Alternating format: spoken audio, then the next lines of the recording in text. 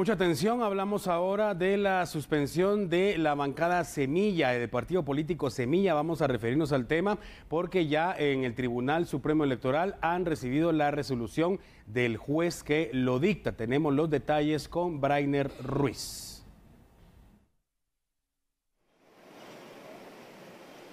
Así es, compañeros, gracias por el cambio ya en Estudios Centrales. Importante información que surge de última hora y es que se ha dado a conocer que el registro de ciudadanos del Tribunal Supremo Electoral recibe la notificación judicial sobre la cancelación del partido Movimiento Semilla, emitida por el juez Freddy Orellana en el caso Corrupción Semilla. Eso fue lo que confirmó la presidenta del Tribunal Supremo Electoral, Blanca Alfaro. Escuchemos.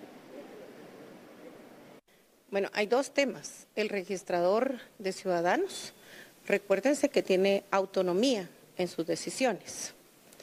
Y luego, si hay una apelación, es que nosotros ya somos notificados o conocemos del informe que remite el señor registrador de ciudadanos. Pero no hay hombre o mujer que mire redes sociales o que mire noticias que no sepa de la acción que ha presentado pues el oficio al registro de ciudadanos con relación a la cancelación. Entonces sí estamos enterados.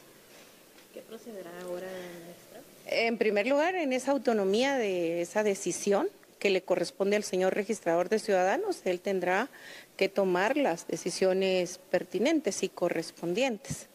Como funcionario, como mujer de derecho, y el mensaje que estamos mandando en estos momentos a la clase política partidaria, a los ciudadanos que quieren afiliarse a las organizaciones políticas o a los hombres y mujeres ciudadanos y ciudadanas que quieren formar un partido político, son momentos muy dolorosos para el país. Recordémonos que estamos llegando exactamente a la misma época cuando en el 2023 pasábamos como Tribunal Supremo Electoral los momentos más difíciles de la historia de la vida democrática del país y pareciera que hoy estamos pues celebrando nuevamente y haciendo aniversarios con las mismas herramientas que dañan la democracia, que enlutan el proceso más sagrado que tiene un país, que es la alternanza del poder, donde yo puedo elegir y puedo decidir quiénes son mis gobernantes. Pues el llamado es a que el derecho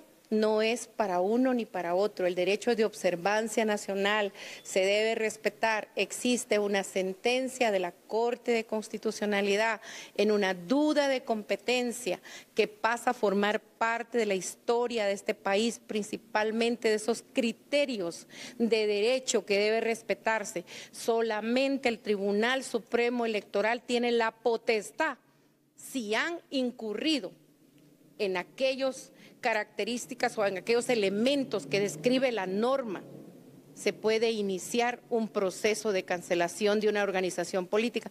Una organización política no pertenece ni al presidente de la República ni a los diputados, pertenece a los que están afiliados en Ixcán, a los que están afiliados en Huehuetenango, a los que están afiliados en Jutiapa, a los que están afiliados en Chiquimula, a los que están afiliados en Petén. Una organización es de derecho público. El Estado tiene que resguardarla. Si hay un miembro de la organización que cometió alguna norma o, un hecho que transgreda una norma de observancia penal, civil, administrativa, debe ser a él, pero nosotros hemos mantenido que debe cuidarse la organización política, porque cómo se defienden los afiliados ante todos estos atropellos a la hora de un partido político.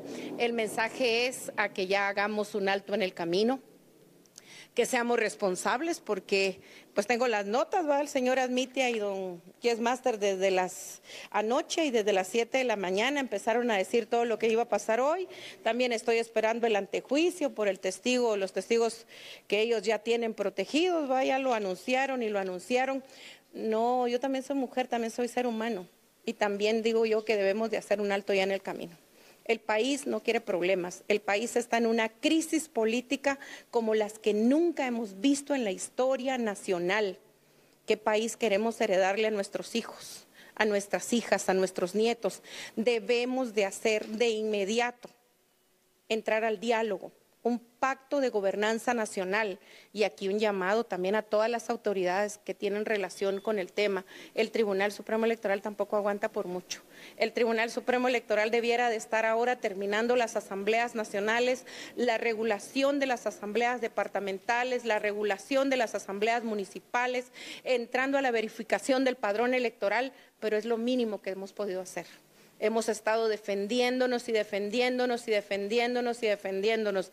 Eso no se puede, ya pasó. La elección va a cumplir el gobierno de la alternanza del poder de los señores diputados y de las señoras diputadas de los señores alcaldes, de las alcaldesas, síndicos, concejales y del binomio presidencial tienen que reconocerle al Tribunal Supremo Electoral que es este órgano el que después de la voluntad de Dios sostuvo la elección porque respetó la voluntad popular y respetó el voto ciudadano.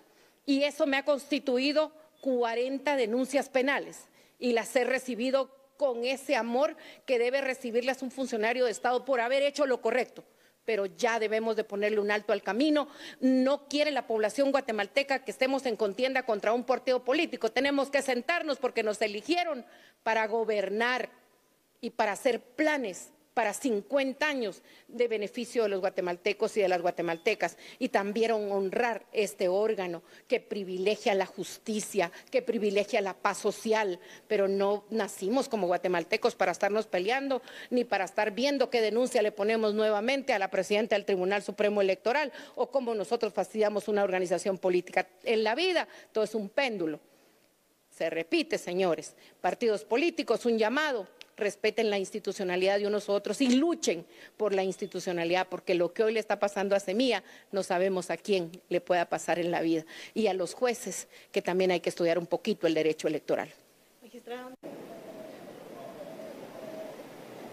Con estas declaraciones, la magistrada presidenta del Tribunal Supremo Electoral entonces confirma que ya fueron notificados y a través del registro de ciudadanos del TSE, pues ya tienen esa orden por parte del juez Freddy Orellana en el caso corrupción semilla. Por supuesto, nosotros vamos a estar pendientes de toda la información que pueda surgir en torno a este tema en las próximas horas. Con imágenes de Saúl Flores, yo retorno con ustedes a Estudios Centrales.